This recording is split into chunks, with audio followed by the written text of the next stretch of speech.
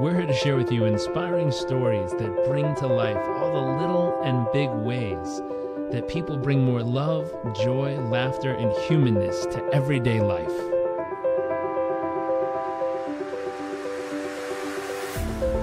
Our focus is the hunt for those little moments that refuel the human soul and reminds us what life is really all about. I invite you to sit back, enjoy the moments, enjoy the stories, the adventures, and the journeys.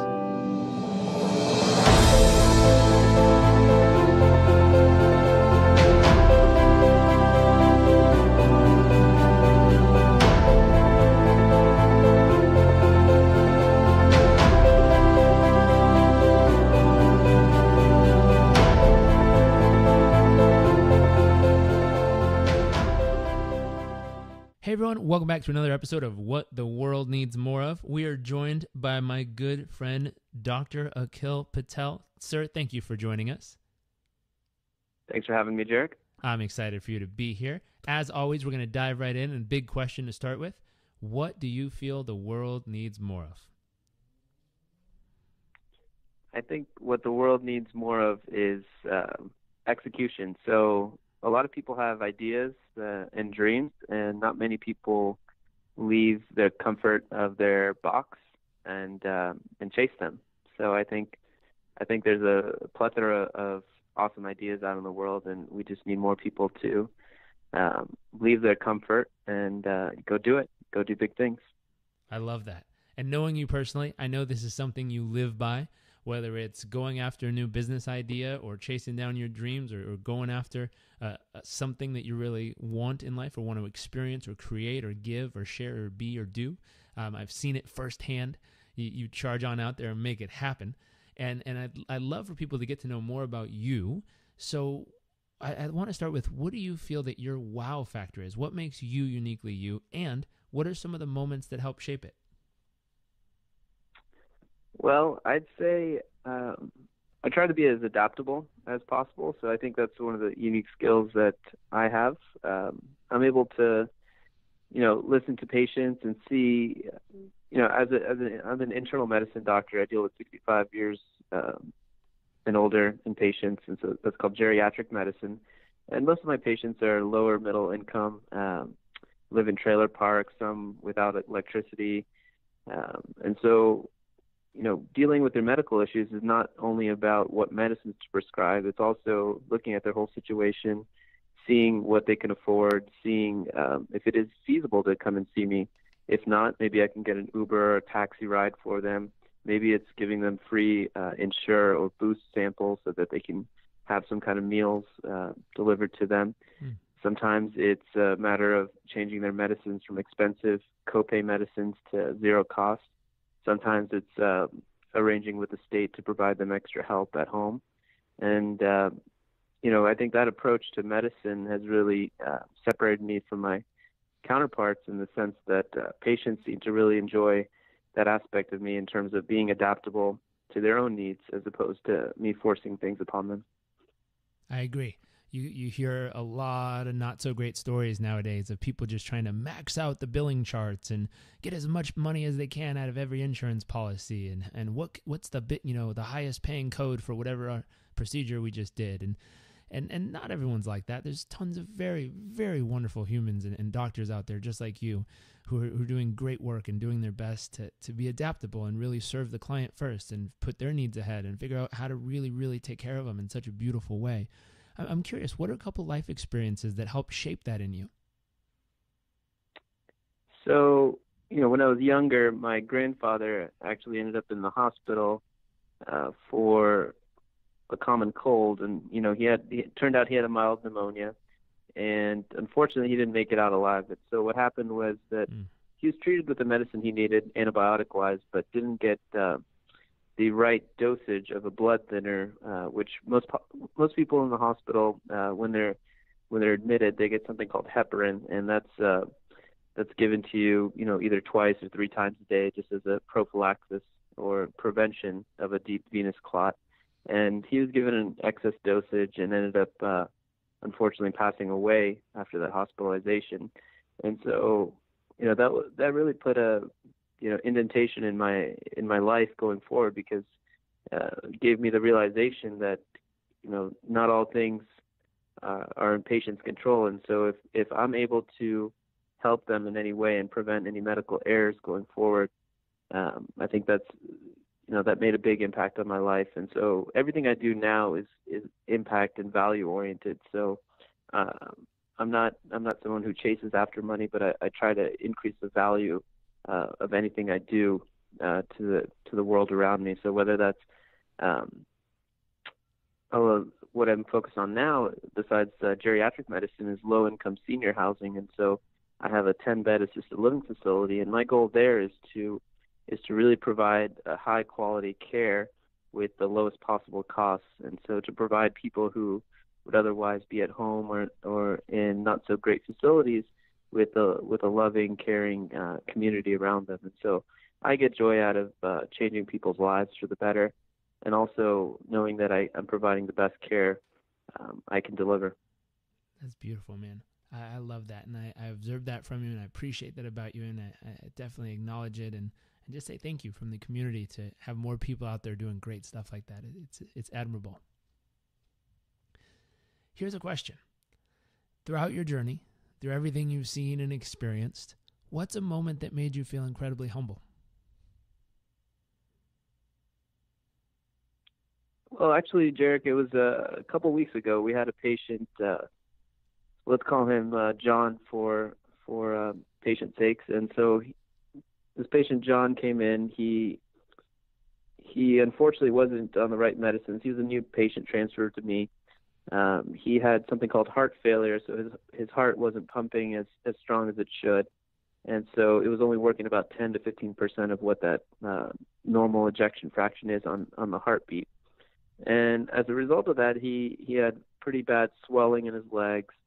He had gained about 30 pounds of water weight, so there was backup of fluid into his lungs, and he was having severe shortness of breath. And uh, you know, as soon as he came in, I knew I could help him. So I immediately changed his medicines, and you know, we tried to try to get this water off of him. And then I realized that you know these medicines were still not working, so we had to admit him to the hospital and uh, take out water through through IV diuresis, so IV format of the medicines as opposed to uh, the pills. And he came back, and he came back 30 pounds lighter in uh, in about five or seven days. And uh, let me tell you, he was a different man, and uh, he couldn't stop thanking the the medical team that took care of him. And uh, you know, I think we we really changed his life for the better. And had he not come to our clinic, I don't know if he'd be here uh, today. And so that was a humbling experience for me to see um, the the result of medical advances today. And, and so someone like him may not have made it through that hospitalization had he been living uh, maybe 50, 60 years ago. And so um, having the, the power of, of medicine and uh, this is it's just a beautiful experience. And so I was very thankful and humbled to see uh, medical care to where it is today and, and to see people like him living uh, when they may have not made it otherwise. Oh, that's awesome, man. I've certainly had my fair share of growing up in an environment that wasn't heavy in believing in the current medical system and, and all the different pills and, and, and ways to treat people. But as you know, I've also had my experience of catching malaria while living in a village in, in Uganda um, and, and not wanting to take the medicine, only to get down to the point where me and the doctor had a face off and he had to show me 55,000 parasites per one red blood cell and say, hey, pal, it's your choice. You either got six days left to live or you're going to take the medicine. It's up to you, though. and and I am very thankful for modern medicine. Otherwise, I wouldn't be here. Um, and as, as silly as it sounds, you know, growing up in Southern California, vegetables, vegetable juice, and meditation can heal so much. The common cold, maybe a headache or two, but don't take on malaria with it. It's a very silly idea. and and it, it's beautiful to see how you know, like you said, the modern advancements and what's available, and and how someone who 50 years ago might have just passed away at that moment can be helped with the right with the right doctors, the right medical team, and you know the the, the right journey there of, of showing them what to do, helping them get it done, and c- coming back 30 pounds lighter and being in a beautiful place. You not only changed his life, but you saved his life. That's amazing. Good work, man. speaking Definitely, humbling, those days make uh, make make all that studying worthwhile. So. that's right. humbling moments lead to awe-inspiring moments. What's a moment that left you in a moment of awe? Something that might have put your jaw on the ground and just left you feeling like, wow, whatever you saw or experienced or felt or did, it, it just left you in a pure moment of awe. Let's see, an awe-inspiring moment. Oh well, let me. One of my patients, uh, you know, he's he's about a uh, 97 years old, and his wife is 93 or 94, and they had one of the strongest marriages I've ever seen in my life, and so that it was pretty awe-inspiring to see how much they cared for each other, how much they loved one another, how much uh, one depended on the other. Uh, the smiles that each one of them had when looking at each other. Uh, there was no contention between the two of them, and there was just nothing but love. And it's something that was definitely unique among my patient crowd, and and something I try to learn from. And uh, I'm friends with the, those patients today, and it, it's just it was a memorable experience to see such joy. And uh, I think they were over 70 years of, of marriage, and so that's that's something special that uh, I don't usually see. Wow, how cool. I'd love to be able to interview them someday. Hopefully, I cross paths with them just to ask them for 70 plus years of marriage with that much joy and that much love and that much happiness. What's their secret sauce? I, I remember my wife and I were on a cruise and we met this this lady who she had been married for many years. Her husband had passed away. She was 92 years old and fell head over heels, madly in love with this man who was 90 and oh my goodness, they were just lit up like teenagers. And they were so lovey dovey and, and happy and touchy feely. And I remember we had lunch with her and her daughter, who was 60 years old. And, and we asked the mom, who was 92 years old, we said, You know, what's the secret? What's making it so amazing, so special? And she leaned in with a giant smile on her face and said, he's very attentive to my needs and winked at us. and her daughter turned bright red and said, Mom, oh my gosh. it was beautiful and it was silly and it was fun. And, and you know how, how wonderful it is for someone to, to have that kind of romance and love and, and just connection with a soul if, if they find it and have the privilege of connecting. But for someone to last 70 years like that, how beautiful. I'd love to know I'd love to one see that and observe it like you have, but two, I'd love to know how they did it. Um, shifting gears here a little, I'm curious. What's your greatest fear? So I heard a quote once, and I think it's applicable to my greatest fear. Uh, it would be, "Hell on earth would be to meet the man I could have been." Mm.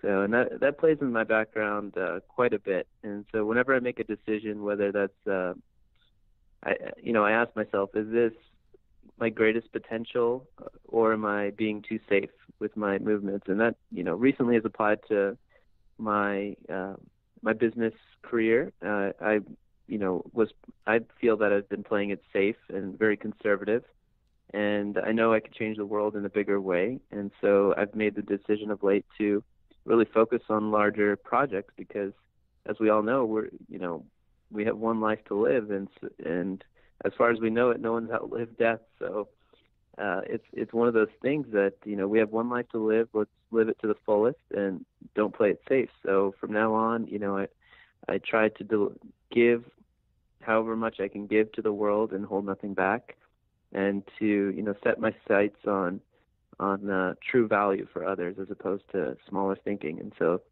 I think that's made all the difference of of looking at myself and trying to become the best man I could be. That's awesome. I love that. Hell on earth is to meet the man I could have been. Oof. What a feeling. What a thought. Here's a question What are you excited about in the future? Well, Jairek, I'd like to change lower income senior care. So I've already started with the, my first assisted living facility, but I'd like to build a series of low-income adult living facilities and uh, independent living facilities, not focused on profit, but more focused on delivering great value. So there's there's uh, unfortunately years of waiting lists for people uh, to go into low-income senior housing right now, and you know I'll just rewind here. There's most of my patients have fixed incomes of about maybe a thousand to thirteen hundred dollars a month, and when they're paying, you know, six, seven, eight, nine hundred dollars a month in rent, they really don't have much left over for food or electricity or water. Not to mention, you know, gas or going out with friends or you know, really enjoying life. So if I if I can provide them uh, a, a wonderful place to stay with with a good community around them uh, for four to six hundred dollars a month, I think that would be a game changer. And so I think that's uh, what I'm going to be focusing on for the next uh, 10 to 15 years of my life. How cool. How cool. Uh, we've been experiencing this with my mom. Um, and, and she went through a couple strokes recently, and we had to go look at all the different facilities available around where she lived. And, and there is a very, very big difference between them. Um, and, and even the ones that uh, are, are covered aren't, you know, there's some that are really nice and amazing, and then a lot of them require out of pocket extra expenses, and they're they're very pricey.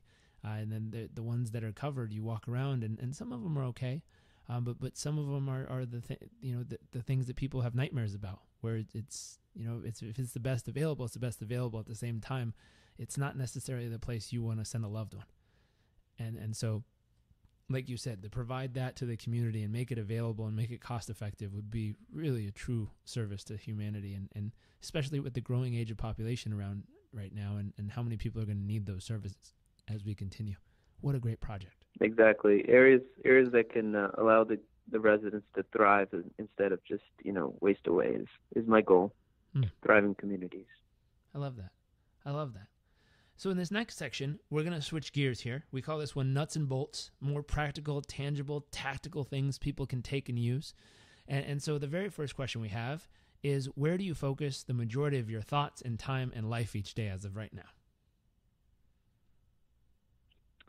So I'll tell you what I ideally I'd like to do, and, and then I'll tell you what I actually do. But uh, I've heard it said well that if you were to write down all your tasks that you do throughout the day and put a number value to each one task. So whether that's maybe go, growing, going grocery shopping, uh, that may be like a five or ten dollar task, uh, as opposed to making a large business decision, maybe a thousand dollar an hour task. And so you want to get um, as close to just doing the hundred dollar and up tasks, uh, and minimizing the you know zero, ten, twenty dollar an hour tasks and ideally you're just focusing on high value um, high return items throughout the day. And so you know of course that could also be spending time with a loved one uh, that could be you know taking care of your health. It could be eating healthy. It could be working out. It could be um, you know showing up in the best way possible. But you don't want to be bogged down by low low value tasks.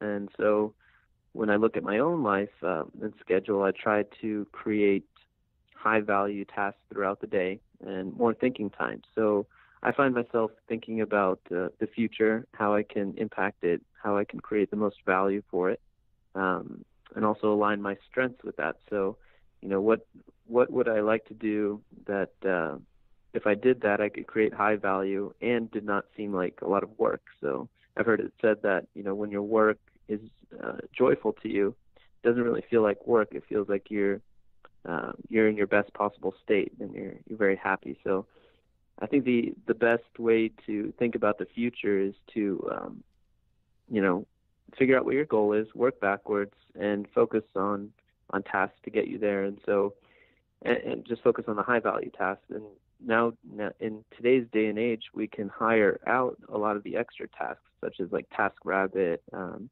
there's Fiverr.com. There's there's a bunch of websites that basically take care of any human need these days. So um, I'd say focus on the high value items.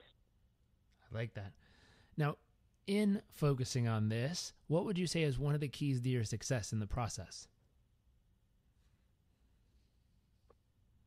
Well, uh, I think this this idea of high value items has has taken me to a new destination somewhere outside uh, my original trajectory. So if you look at my current life, um, you know, I'm a physician, I'm employed, I, I make X amount a year and I see this many patients, but thinking uh, in this new direction where I could potentially impact millions of lives, um, my trajectory has changed. So I feel like my best self could be that person to change low income senior care, and so that that requires me to push to a new level. And uh, you know, I think that makes all the difference, uh, whether you live in a comfort environment or live your best self. And again, not everyone needs to, you know, end up serving millions of people. Some some may be happy just raising a beautiful uh, family, but uh, you know, if if that is someone's decision to impact a lot of lives, then I think they they have to really analyze their own trajectory and see